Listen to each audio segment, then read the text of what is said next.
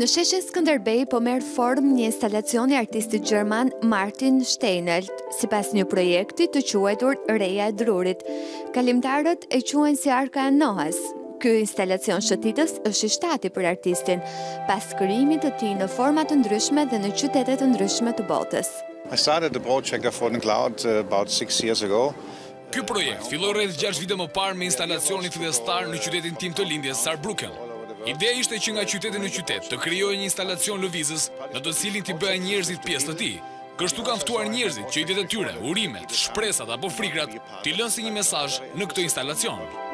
Genc Mulliqi është kumbari i idesë për ta sjellë këtë projekt në Shqipëri. Shumë studentë të skulpturës kanë punuar vullnetarisht në krijimin e kësaj vepre.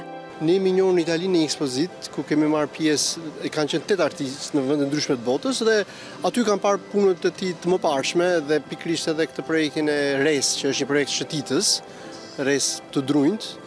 Dhe unë i thashë Të përpiqemi ta sjellim në Tiranë, se më pëlqen si projekt. Është një vepër e mirëfilltë e hapësirës publike, e përkohshme dhe jo me shumë shpenzime.